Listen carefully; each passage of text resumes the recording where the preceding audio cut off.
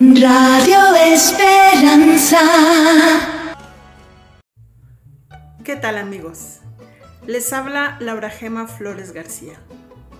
Dedico este video a Radio Esperanza, a todos los salmantinos que lo escuchan y sobre todo a mi amigo Jaime.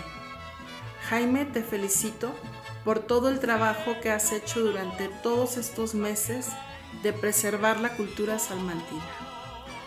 Yo soy una salmantina de corazón. Nací y crecí en Salamanca. Salí hace muchos años de Salamanca, pero cada año regreso. Cada año regreso en fiestas importantes. Regreso para la Semana Santa, regreso para los días de invierno, para las Navidades y los Años Nuevos. Regreso para el verano y siempre regreso para llenarme de vida, para llenarme nuevamente de ánimos, para caminar en la vida.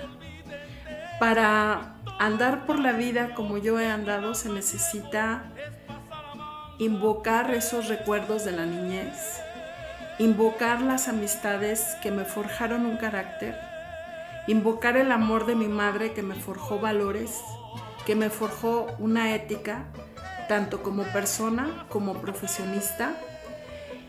Y a pesar de que me alejo tanto, siempre tengo buenos recuerdos de Salamanca y he podido trabajar cosas sobre Salamanca.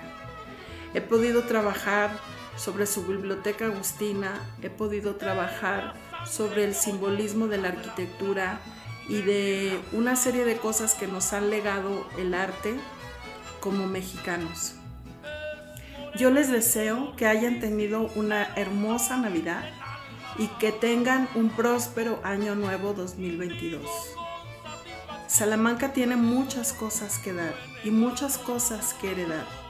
Nosotros como salmantinos tenemos el deber de cuidar nuestro patrimonio, de cuidar nuestras costumbres, de cuidar nuestra gastronomía, de preservar nuestras especies, de preservar también nuestra salud de preservar lo que somos en sí, hombres y mujeres de carácter, de trabajo, de emprendeduría, para permitir que este pequeño nido del Bajío guanajuatense que es Salamanca siga conservándose, pero siga fortaleciéndose cada día para que los hijos, nuestros hijos y los hijos de nuestros hijos crezcan en un ambiente sano Radio Esperanza.